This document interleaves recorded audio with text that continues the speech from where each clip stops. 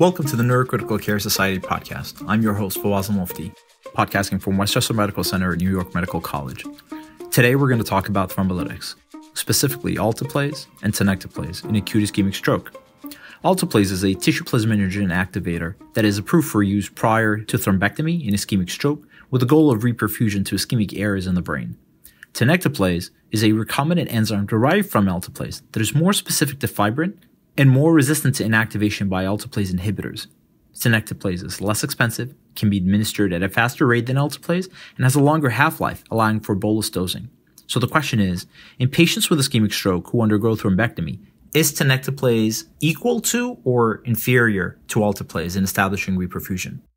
Today, Mike Brogan is joined by Dr. Bruce Campbell to discuss the recent publication in the New England Journal of Medicine entitled Tenecteplase versus Alteplase Before Thrombectomy for Ischemic Stroke, which was an investigator initiated, multi-center, prospective, randomized, open label, non inferiority trial. I hope you enjoyed this episode.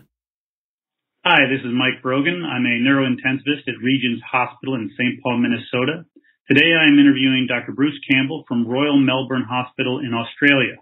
We're going to discuss his recent paper published in the New England Journal of Medicine titled Tenecteplase versus Alteplase Before Thrombectomy for Ischemic Stroke. Dr. Campbell, welcome and thank you for agreeing to participate in our podcast series despite the time difference. Thanks. It's a pleasure to be with you. Dr. Campbell, first of all, some of our listeners may not be familiar with Tenecteplase. Can you give us a little background on the difference between Tenecteplase and Alteplase and what some of the theoretical benefits might be. Tenecteplase is a slightly genetically modified version of alteplase. It differs by two amino acids. And the result of that is it has a much longer half-life, so it's about 25 minutes versus 5 minutes uh, for the initial half-life. And uh, that means it can be given as a single bolus rather than an infusion over an hour like we have to do for alteplase, which obviously has some practical advantages when you're, particularly when you're shipping patients between hospitals and around the hospital to get a thrombectomy. It also uh, is more resistant to one of the uh, thrombolysis inhibitors, PAI-1, uh, and it has uh, greater fibrin specificity, which has some theoretical advantages, potentially a reduced risk of hemorrhage. So that's the, the key differences in the biology of tenecteplase. In most systems, it's also a little less expensive than alteplase um, by about two or three thousand dollars in the US. That's not insignificant. Can you give us a brief summary of the trial design? EXTEND-IA TNK was a prospective randomized open label blinded endpoint, so a probe study, and we were comparing the uh, 0.25 milligram per kilogram dose of tenecteplase versus the standard 0.9 milligram per kilogram dose of alteplase in patients who are eligible for standard stroke thrombolysis within four and a half hours of onset who are going to have a thrombectomy. So we required a large vessel occlusion in the internal carotid, uh, the first or second part of the middle cerebral artery or the basilar artery. There were CT perfusion scans performed in all the patients, but we, compared to our previous trial, Extend-IA, we did not have a cutoff for the maximum core volume uh, that we would allow into the trial. So patients with quite large cores were included. And how did tenecteplase compare with regards to reperfusion, which was, I believe, your primary outcome? The primary endpoint was essentially whether the patient had already reperfused by the time they got to angiogram. So for those who know the TICI scale, which is our angiographic reperfusion scale, TICI 2B3 is greater than 50% restoration of flow to the involved territory, and that occurred in 22% of the uh, tenecteplase patients versus 10% of the alteplase patients in the median 43 minutes between giving the thrombolysis and uh, taking the picture intracranially. I did not see it in the initial article. It may have been in the supplementary uh, material, but was there any difference in the thrombectomy rates between the two groups? Yes. So for every nine patients that you uh, treat with tenecteplase versus alteplase, uh, one patient didn't need a thrombectomy. So essentially that difference in reperfusion translated in all but one case into uh, not needing to do the procedure. So one in five tenecteplase treated patients essentially didn't need the thrombectomy and one in ten of the alteplase patients. How did the groups do in terms of the clinical outcomes? Was there a difference in functional outcome at follow-up? The main functional outcome we looked at, well, the main secondary outcome was the modified Rankin scale, which is our standard functional outcome at three months. when we look at the ordinal shift, so improvement by at least one point on that scale, uh, there was a significant benefit of tenecteplase over alteplase. If you just look at the dichotomized, did they reach functional independence or not, there's a strong trend of P equals 0.06, but it didn't quite reach significance. In your discussion uh, in the article, you mentioned that the, the functional outcomes in the alteplase group in this study were less favorable than those in the Extend-IA trial. What are your thoughts on why that might be? Extend-IA was a bit more selected, particularly um, we had to have independent premorbid function prior to the stroke, and in Extend-IA TNK, because we were primarily interested in the reperfusion outcome, we allowed people with some degree of premorbid disability, um, a Rankin of three, which means they might be living at home but needing assistance with cleaning or cooking or finances or something like that. Um, so those patients are never going to get back to an independent functional outcome. We can't make them better than they started, unfortunately, but there are also this issue I mentioned of core volume. So in Extend-IA, we restricted maximum core volume to 70 mils, uh, whereas patients did not have that limitation. So there really are quite different populations uh, between Extend-IA and Extend-IA TNK, chiefly around the, the premorbid disability and the core volume, which are very strong prognostic factors.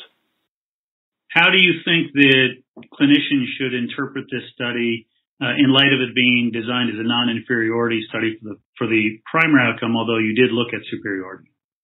We designed it as a non-inferiority trial because of those practical and economic advantages of tenecteplase. We felt if we could convincingly demonstrate that tenecteplase was at least as good as alteplase, then why wouldn't you use it if it's easier to give and cheaper? As it turned out, we did also show statistically significant superiority as well. I think for this population of large vessel occlusions, there's certainly a good rationale now to use tenecteplase if you want to. It's not uh, approved for, for stroke, obviously, and that's something that we'll have to look at in the future. And at the moment, the guidelines haven't been updated to reflect this either. So it is an off-label treatment. In Australia, we are continuing to do trials with tenecteplase. We have uh, a trial in non-thrombectomy patients. We have the Extend-IA TNK Part 2 trial, which is looking at uh, the 0.25 milligram per kilogram dose versus a higher dose that was used in a Norwegian trial people might have heard of called Nortest. Um, Nortest used 0.4 milligrams per kilogram, so a significantly higher dose, but still less than the myocardial infarction dose of tenecteplase, which is about 0.5 milligrams per kilogram. And they showed similar efficacy and safety to alteplase, but it was a very mild stroke population.